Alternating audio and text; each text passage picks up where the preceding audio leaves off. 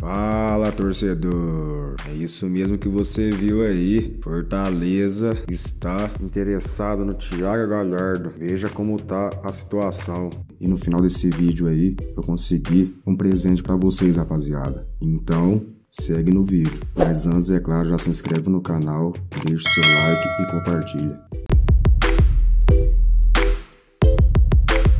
De acordo com o site Sofortaleza, o tricolor segue de olho no mercado da bola e busca novas contratações para a sequência da temporada. Segundo informações do jornalista Danilo Queiroz, do Futebolês, o Leão está na briga com o Ceará para contratar Thiago Galhardo, que pertence ao Internacional.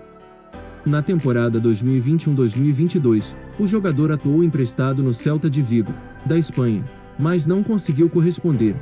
Foram 34 jogos, dois gols marcados e duas assistências. Jogou pela última vez contra o Valência, 21 de maio, pela liga local, com derrota do time de 2 a 0, fora de casa.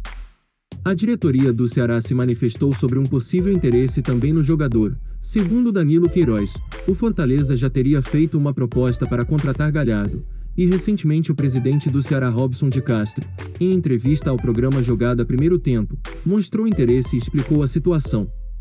Galhardo tem contrato com o Internacional até dezembro, então qualquer manifestação é chamada de aliciamento. Então prefiro não falar do Galhardo porque tem contrato até o fim do ano. Se eu falar, o Internacional poderia acionar uma cláusula. Assim, eu não posso te garantir isso porque quando crava isso, a outra parte se empodera. Não é bom para a contratação, temos de ter calma, avaliar o mercado e olhar duas ou três opções para avaliar esse interesse do jogador, disse o dirigente.